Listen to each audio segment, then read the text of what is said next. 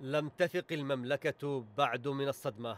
فلا توجد مؤشرات على أنها سترد عمليا على الاعتداء الكبير الذي طال منشآت أرامكو النفطية.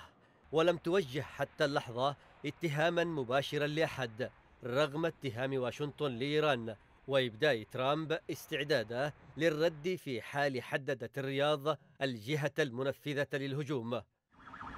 ميليشيا الحوثي لا تزال مصرة على أنها من نفذت الهجوم بطائرات مسيرة والملفت للنظر أن تقريرا لصحيفة نيويورك تايمز الأمريكية رجح احتمالية صحة ادعاءات الحوثي فالمحققون التابعون للأمم المتحدة رصدوا في تقارير سابقة حصول الحوثيين على طائرات مسيرة متقدمة فضلا عن تدريبهم على استخدامها من قبل الحرس الثوري الإيراني.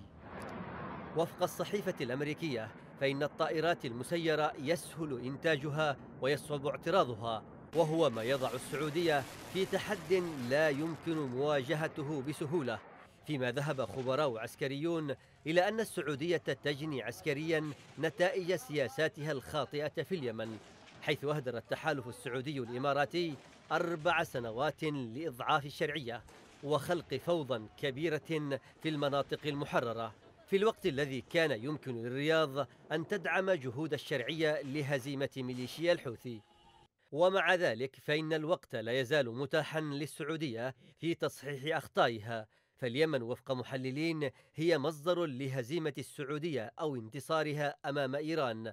والطريق إلى ذلك يبدأ من خروجها من عقدة بقاء اليمن جارا ضعيفا. والتوجه نحو عودة الشرعية لعدن وبسط سلطتها في المناطق المحررة ثم دعم الجيش الوطني ورفع الغطاء عن ميليشيات الإمارات كخطوات ضرورية لمواجهة ميليشيا الحوثي الذراع العسكري لإيران في اليمن.